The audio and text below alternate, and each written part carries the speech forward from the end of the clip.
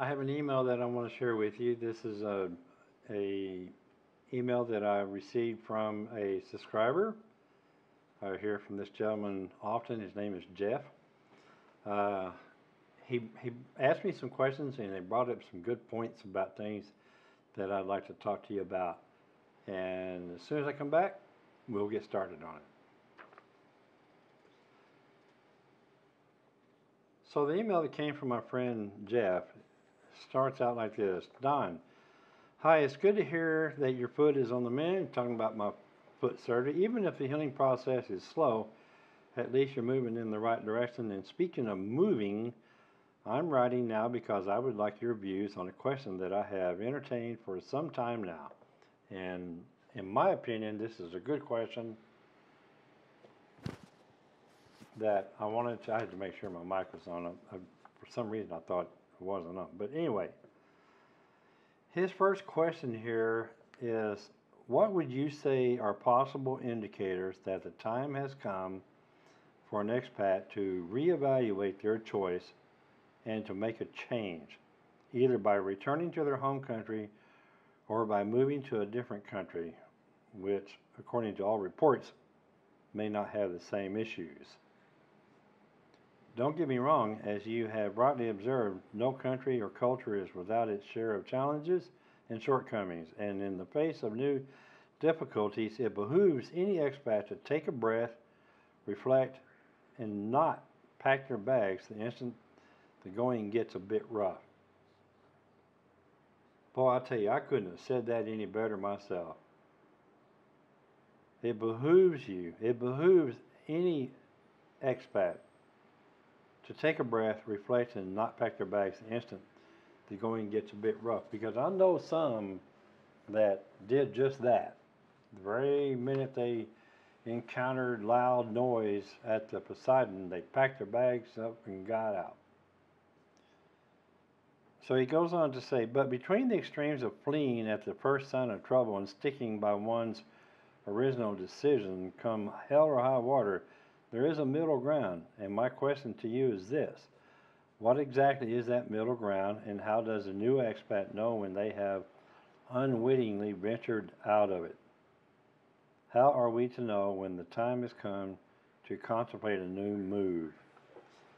So that's a good topic to discuss because I've been here 18 months the very first day I was here, here in Ecuador, well, it was okay because it was late at night and I was, went straight from the hotel to the airport. I mean, straight from the airport to the hotel. Spent the night, got up the next day, had breakfast, and then got in a taxi and drove to Crucita. This is from Guayaquil to Crucita.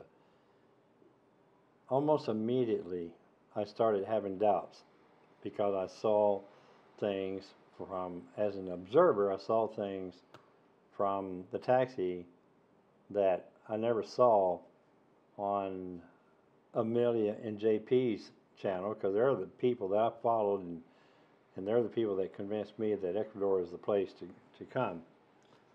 And but I don't as I were as we're driving down the highway and going by the prison and and then seeing a lot of the living structures that people were living in I, the first thoughts that came to mind was, wow, third world country.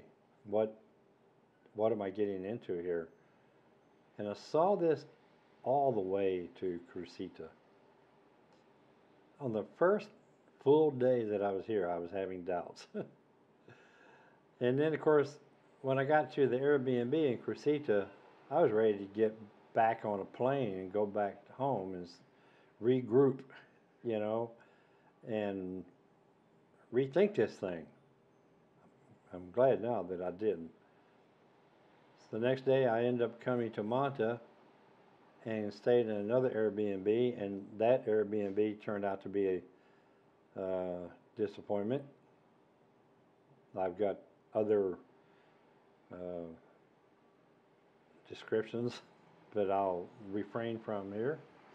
But you know, that day I met my real estate agent, a rental agent, and she found me a nice place to live, and I've been here ever since.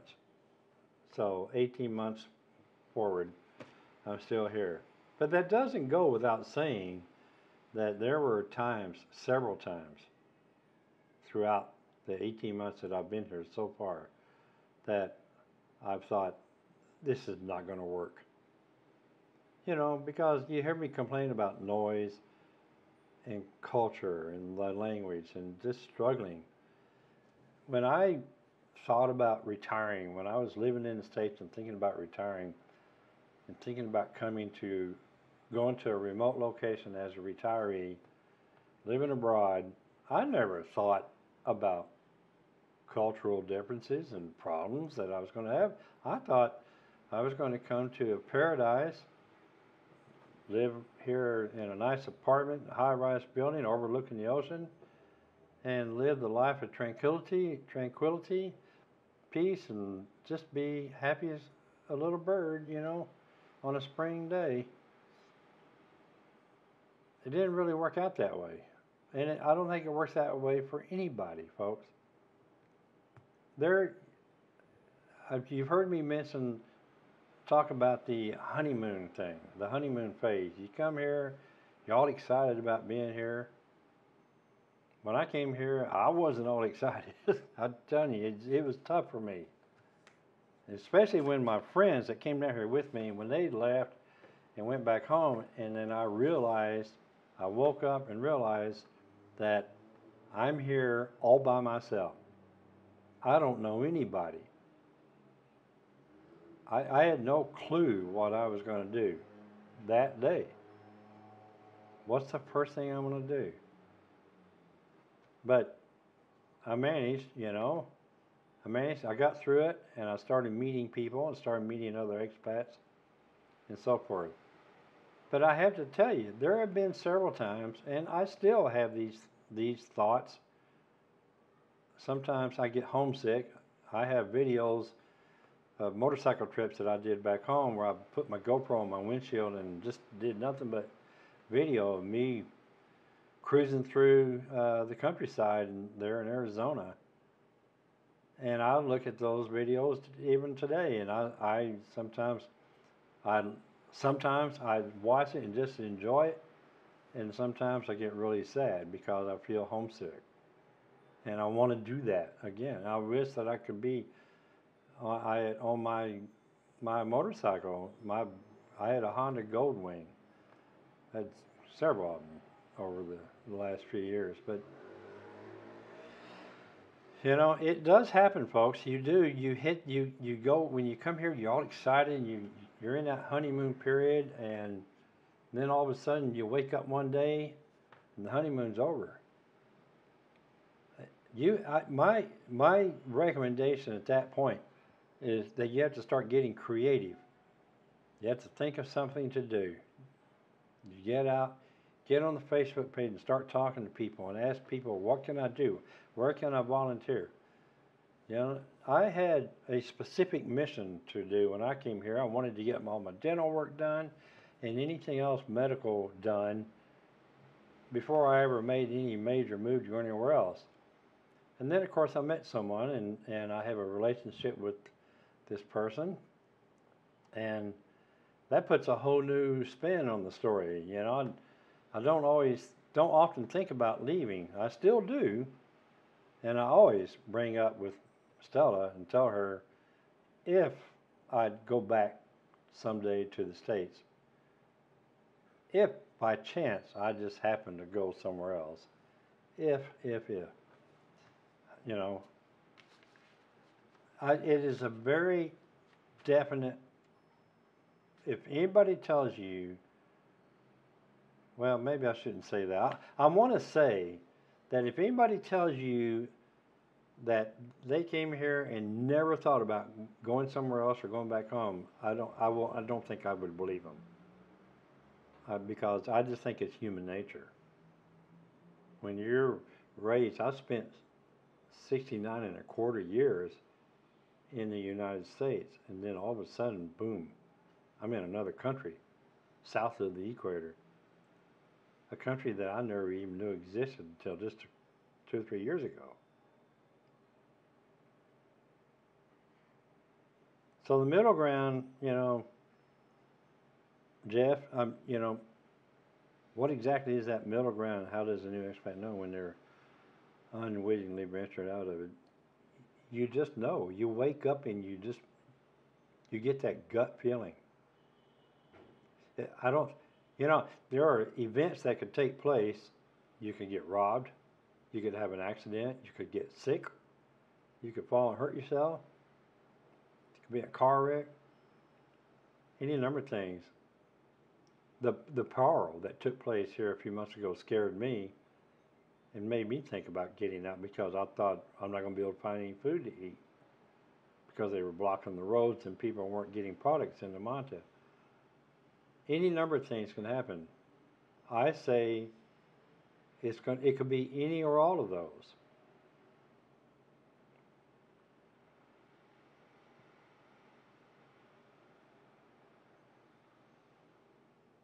Most of the time I get up and I have a pretty good feeling about being here, especially when I've had a good night of sleep. I would be lying to you people through my teeth if I told you that I woke up every single day being a happy man here because I get discouraged by the noise and I get discouraged by the earthquakes.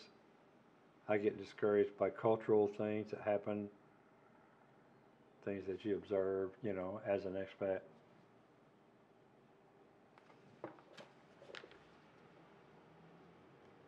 Jeff goes on to say, as I say, I have given much thought to this question myself, but thoughts on paper are one thing and actual experience is another. And as one who has walked the talk, I say walk the walk, talk the talk, you bring a perspective that can be useful to the rest of us. Now, by posing this question, I don't mean to imply there is a single right answer which applies to everyone, and that's the truth. There isn't a single answer. It could be one or all of those things that I mentioned.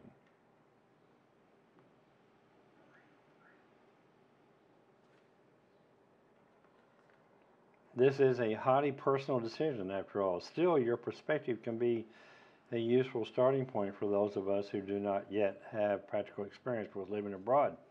For my part, as I consider what countries and cities would best suit me, I have identified my deal breakers.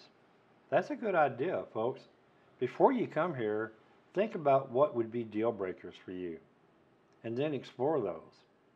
Think. Think a little bit, folks. Don't do like I did and just make a snap. I mean, it seems like I made a snap decision, but it actually took me several years of research, but then it took me less than six months to say, okay, here I go. I had a complete change of plans. It seems like every time I do a video, somebody pings me. I'll mute this.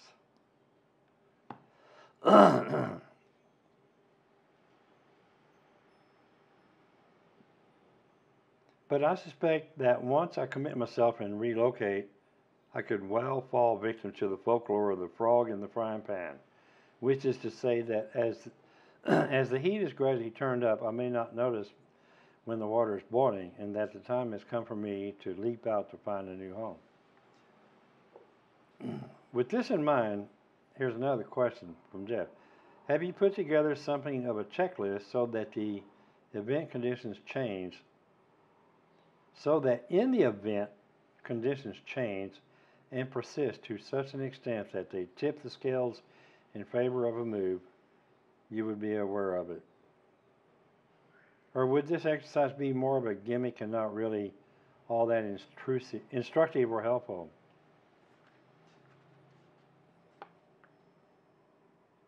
With this in mind, have you put together something of a checklist so that in the event conditions change and persist to such an extent that they tip the scales in favor of mood, you'll be aware of it? You will be aware of it. He's asking the question, will I be aware of it? Or would this exercise be more of a gimmick and not really all that in, instructive or helpful? As I write this note, it occurs to me you have, in effect, already gone through this very exercise or you would never have left the United States in the first place. That is true. But just as you determined that moving from Mesa, Arizona to another city in the United States would not suffice, how might you be able to determine when moving from Manta to another city in Ecuador may not suffice either, and that instead you need to consider other countries altogether, such as perhaps Uruguay or Spain? I suppose this is highly subjective and not really an easy thing to hash out. That's true, Jeff. Which is precisely why I propose to toss this question in your lap so that I can learn your insights. He says, he signed off Jeff. P.S. Just so you know, I'm still focused exclusively on Ecuador and it remains my first only choice. I think that's a good choice. I, I think, I tell everybody, come here with an open mind, you know. Before you leave the United States, it's not, it's not about just coming to Ecuador, but before you leave the United States, if you own a home, you got a bunch of possessions, you might want to put some of this stuff in storage for at least a year. You've heard me say it before, and I'm saying it again. And don't come here and buy a property right off the bat. A property. Don't do that. Come here and rent for six months, and then maybe renew your lease for another six months. You got plenty of time. Don't forget when you retire, you have time. So I hope I address this okay, Jeff. There, I tell people, you will know. You will just have a gut feeling. Everybody that comes here is going to have that honeymoon, and I say that everybody's going to wake up someday and wonder what the hell they're doing here, and start fantasizing about either returning home or going somewhere else. My thoughts exactly. If I decide I don't like, don't want to stay here in Manta, I might would go look at some of the cities up in the Andes, like Cotacachi or Loja, or maybe even back to Cuenca. And if I don't like either one of those, then I'll go somewhere else. I I still have my sights set on Mexico at some point, but who knows? Who knows what's going to happen? There's a special someone in my life that might have a lot to say about that. So that's it, Jeff. I hope that helped you, uh, and I hope it gives everybody else something to think about. If you stayed with me through this whole video, I thank you for that, and I hope you got something out of it. I'll see you folks on another one. Ciao, ciao.